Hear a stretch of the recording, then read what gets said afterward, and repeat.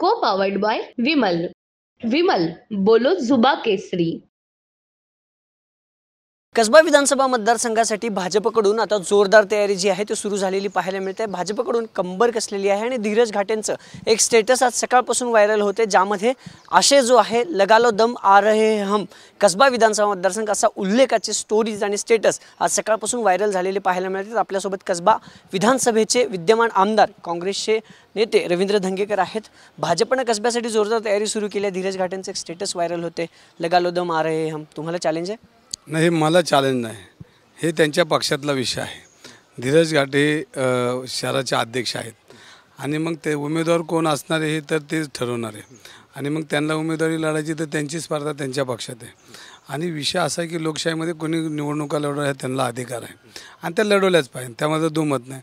तर ते त्यांच्या पद्धतीने बोलतात. आता त्यांचा रोग कोणाकडे हे माझ्या लक्षात येत नाही. कारण मी ते टेटस बी बघित नाही. तुमच्याकडनं आहे कारण मला टेटस बघायला वेळ नाही. आता मला लोकांमध्ये काम करतं पण हा सगळा जो विषय बघितला असेल तर ते त्यांचा त्यांना उमेदवारी पाहिजे नसेल बोलत असेल. सुरुवात केली असेल त्यांनी त्यांचं स्वागत आहे. पण ते म्हणतात की लगालो दम आ रहे हम. भाजप पुन्हा एकदा कसबा तुमच्याकडून हिसकावून घेणार असं वाटतं? नाही लोकशाही आहे. लोकशाहीमध्ये जनता ठरवते कोणाला घ्यायचं आणि कोणाला देशाची परिस्थिती बघितली की हळूहळू बदलत चालली. त्यामुळे महाराष्ट्रातले बी बदलणार. आहे त्यामुळे हे कोणाच्या हातात नाही. कोणी कुठं दम लावला तर तो दम जनतेने लावला पाहिजे. तर जनता ठरवते. आणि जनतेचा तो निर्णय असतो. आणि जनतेच्या निर्णयाचं आम्ही स्वागत करतो आणि तेही करत असतील.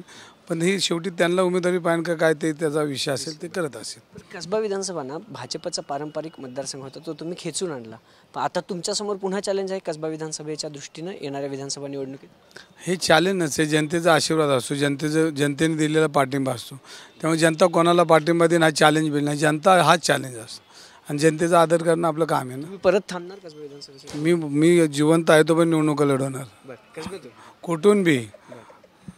दुसरा ड्रग्सचा जो विषय आहे ना त्यात आता चार द- पोलीस अधिकारी आणि कर्मचारी आणि दोन राज्य उत्पादन शुल्क विभागाच्या अधिकाऱ्यांचं निलंबन करण्यात आलेलं आहे. कारवाईचा बडगा पुणे पोलीस उतर उचलते मात्र ठोस काही पुरावे काही काम केलं पाहिजे असं तुम्हाला ह्याच्यामध्ये जेवढे पोलीस निलंबित केलेत मग कार प्रकरणात असेन हे असेन.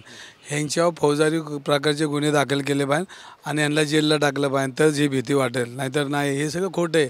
चौकशा बिवकशा हा फारच आहे. आणि जनतेला क चुकीचा मेसेज पाठवणं आणि आम्ही काहीतरी करतो हे दाखवणं तर यांच्यावर फौजदारी कारवाई झाली पाहिजे.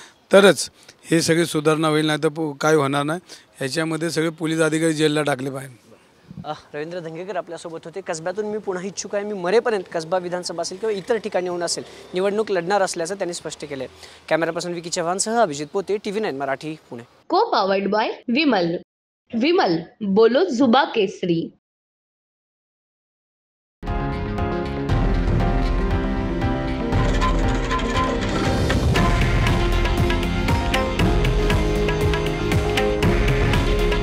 हे आहे देशातील नंबर वन न्यूज नेटवर्क.